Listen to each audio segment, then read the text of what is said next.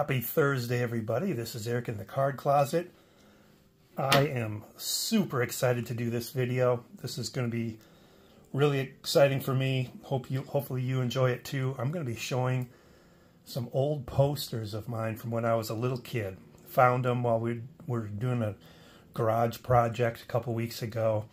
And uh, I'm going to show them to you. I haven't seen these in literally 35 years, so I am super pumped. But first, it's episode 453, so let's do our mystery man of the day. This is a tough one, so I'm giving you a little bit of the look of the of the card there, a little piece of the card to see. Not sure if that'll help or not. Not much of a hint there, but uh, this guy had a 453 slugging percentage for his career. So let's see if you can get him. You're good if you can get this one. His rookie card was in 1977 Topps. He shared the card with three other players, and he was on the Pirates. He was a two-time All-Star, once in right field and once in center field. And both of those years that he was an All-Star, he led the league in home runs. So if you know your 1982 Topps home run leader cards, on the National League side is Mike Schmidt. On the American League side, Dwight Evans, Bobby Grich, Eddie Murray, and this man. He played in two postseasons, 1981 with Oakland and 1986 with the Boston Red Sox.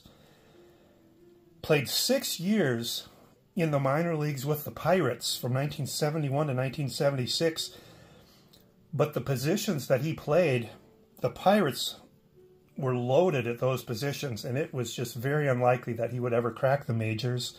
So that's why they shipped him to Oakland in the trade that brought Phil Scrap Iron Garner to the Pirates. Those Pirate players that were ahead of him in the depth chart were Roberto Clemente, Al Oliver, Omar Moreno, Dave Parker, Willie Stargell, and Richie Zisk. He played 14 seasons, six with Oakland A's, which was the most, and then four with the Boston Red Sox was next. He had 600 career runs, 1,300 career hits, 251 career home runs, 800 career RBIs, and a career average of 252. He was born in Venezuela. And his son, who has the same name, just with junior after it, played 10 seasons in the major leagues, mostly with the Montreal Expos, and he was a pitcher. But the dad is well known as being a slugger. I got to know in the comments if you figured this one out.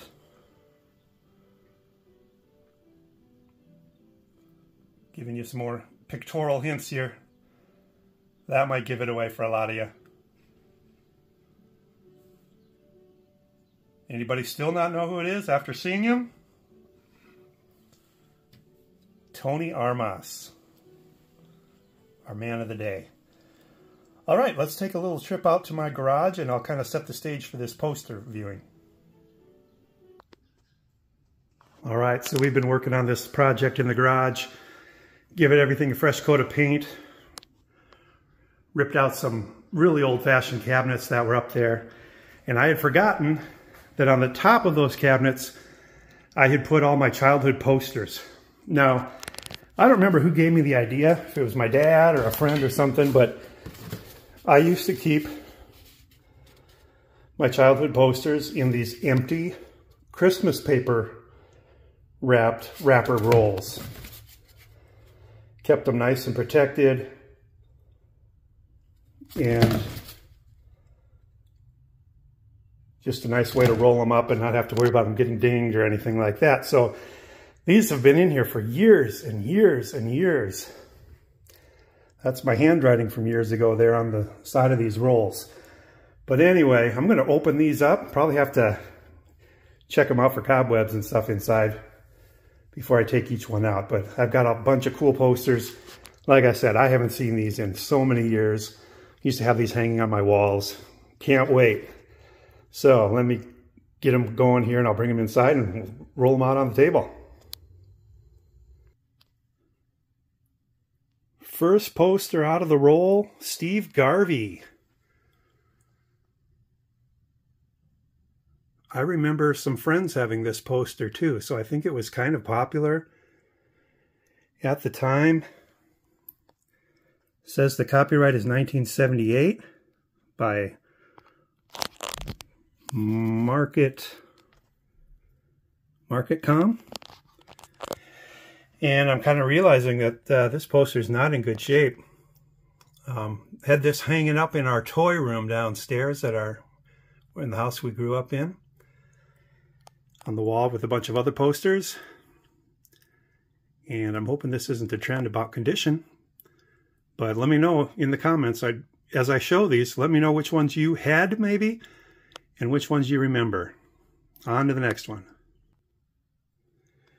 All right, poster number two, Magic Johnson. And this looks like it's a Feeling 7 Up campaign. Got a facsimile auto there, but look at that smile. Young Magic here. I'm guessing this is early 80s. Probably would have had this one in my own room because uh, Magic was one of my favorite players as a kid. I'm going to turn it over so show you the back side. It looks like there was a set. Okay, here's the back. Shows that uh, there was some kind of offer that you could send in to get these posters. The offer expired March 31, 1981. But here are the other players that were in the series. George Brett, Sugar Ray Leonard, Mike Schmidt. I wonder if RJ had that poster when he was a kid. Let me know, RJ. Dave Parker, John Mangini. This is your wheelhouse for era that you were collecting. Did you have that Dave Parker poster? Ann Meyers, Bruce Sutter, Magic Johnson, Tracy Austin. So they were the 7-Up posters. Let's see what's next. Next up, Fran Tarkenton. Yes. This goes back to the late 70s here. You know, we lived in Minnesota Twins country. And my dad picked this up. And he also picked up a George Foreman one at the same time. And they were the first two posters we had hanging in our toy room. So this, this goes way back. And let's see, it's, this is a copyright in 1978, it says, by Minnesota Vikings Football Club. So shout out to my Viking friends, Commenting Collector and Stukes, Cards and Curiosities, probably some more that I'm not thinking of right off the top of my head. I'm hoping the George Foreman one is out there too, but I'm guessing it's not because I'm guessing I got this one and my brother got the George Foreman one. Let's see if we can tell who who that is right there. L-E-Y. Ron, no, it wouldn't be Ron Yary. Don't know. Don't know who that offensive lineman would have been. Not Tingelhoff or any of those. But yeah, look at this one up here. You can see that we had to tape it at one point. And uh, this one probably had a lot of use. I want to remove that light so I don't get any glare for the next one. But yeah, that one that's some good memories right there. Fran Tarkenton. Oh yeah, this was my favorite poster as a kid, and it hung over the head of my bed. This I got in a book order. If you were a kid in the late 70s, early 80s, you might remember those scholastic book orders that we get every month or so. And usually it was books. But this one month, they had this poster in there, and this was right at the time of uh, Steelers Super Bowls 13 and 14. They obscure the uniform numbers just enough so you can't place a name on them, on who they are. But that's the poster. Big poster. Biggest one I had. Love the look of that. I still love that poster today. That one's kind of one that ages well. So any of you Steeler fans have this one? Mr. Mangini, did you have this? Have you seen it before? awesome, awesome poster. Let's go see what's next. Next up, we have Roger Staubach, another one from MarketCom. There was no dot .com in this time frame. But this would have had to have been near the end of Roger's, Roger Staubach's career. And I'm not really sure why we got this because we we were not Cowboys fans.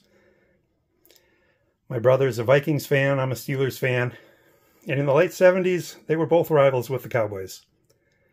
So I'm not sure. I know Roger came to town and spoke at a sporting goods store and and uh, there was a big crowd there. I was there that day. So maybe we got this at that event. Not sure. But, uh, all right, who are my middle-aged cowboy fans out there? TJ Mac. Did you have this poster? Have you seen it before? Uh, there's more too, but not thinking of them right now. But yeah, that's a good poster. Love it. Next. How about a Terry Bradshaw poster? From that same series, it looks like, as the Roger Staubach. I'm guessing what might have happened is my brother and I were both allowed to buy a poster one day. And I picked Bradshaw and there must not have been a good Vikings poster available, so my brother picked the Roger Staubach. I better contact him, see if he wants that poster back. But again, we got damage. You know, you kind of forget over the years that posters are hard to keep in good condition.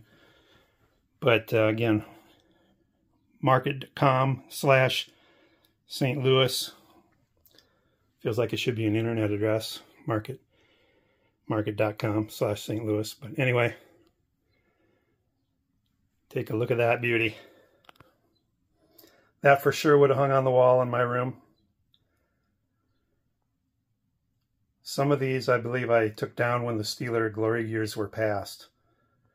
But that's a cool poster. I love it. And next we have Magic Johnson again. This time it's an in-action photo taken during the 1984 NBA Finals which unfortunately they lost to the Celtics.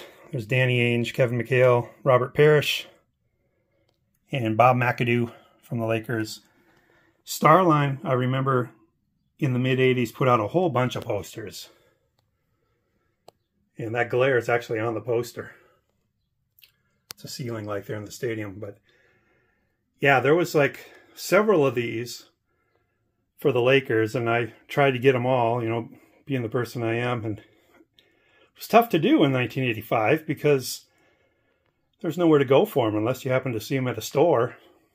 There was no way to to obtain them. So this is Magic Johnson. Would have had this on my wall too, probably through high school because the Lakers were awesome through my high school years. There we go. I think the next one's going to be another one from this set. Yes, sir. My favorite high school player in high school and college was James Worthy. I wore uniform number 42 because of James. It's also from that Starline series there.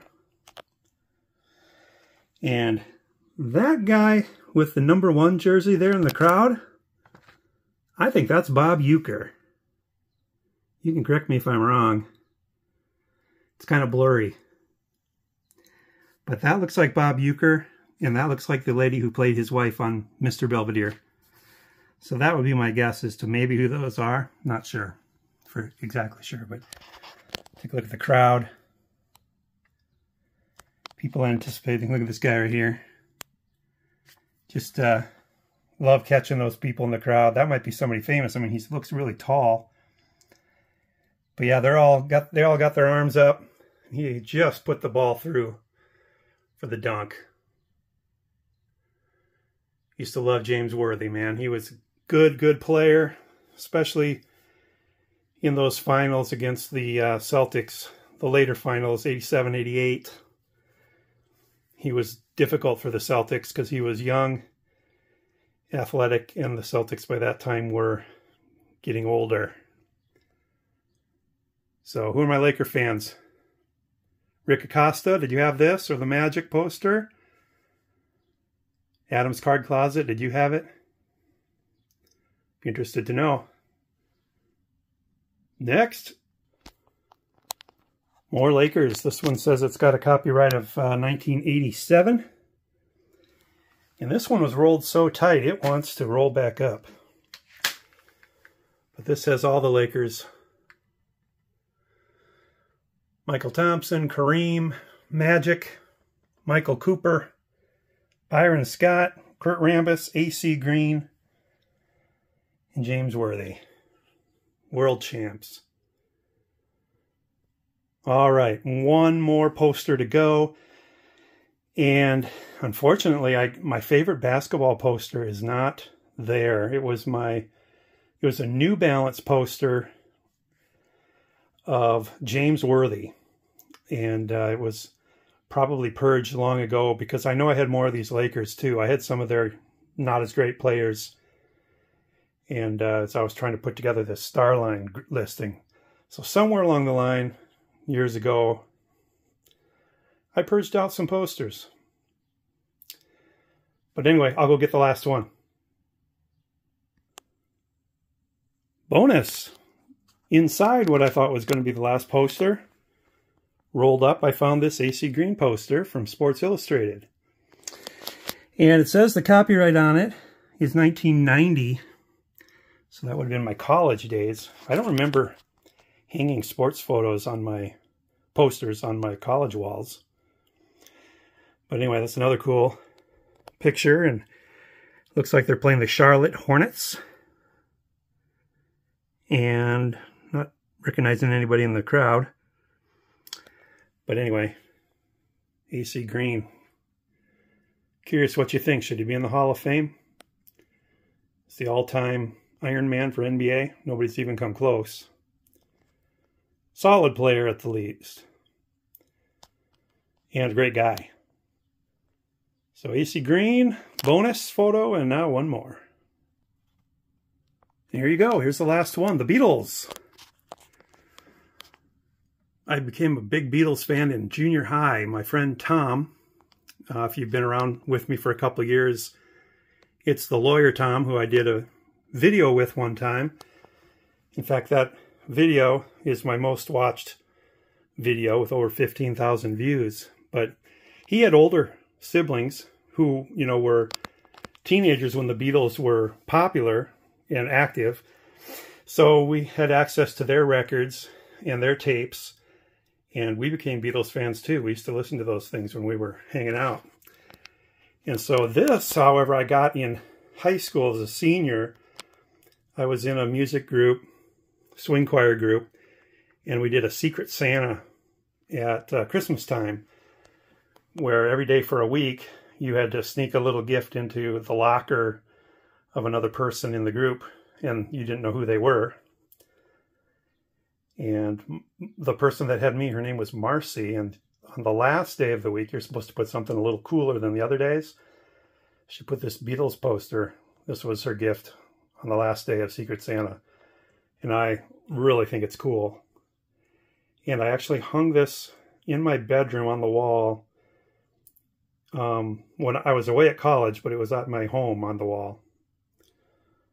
So the Beatles, London Palladium Royal Command Performance 1963. I think it's just a great photo of those guys. We've only got uh, the two guys on the bottom alive anymore. Ringo and Paul. George and John have passed on, but uh, great group, the Beatles. Some timeless songs. So anyway, that's it for the posters every last one I've showed you. Be really curious to know if you enjoyed this, what you thought of these. Did any of them bring back memories for you? This was a good blast from the past for me. I really enjoyed going through these. Not sure what I'm going to do with them. I think the the ones that are in poorer condition are going to go in the garbage. But I wanted to capture them before doing that. So, hey, thanks everybody.